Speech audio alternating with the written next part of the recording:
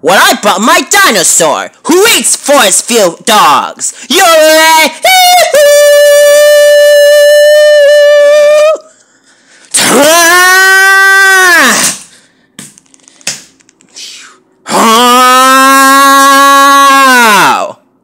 Huh?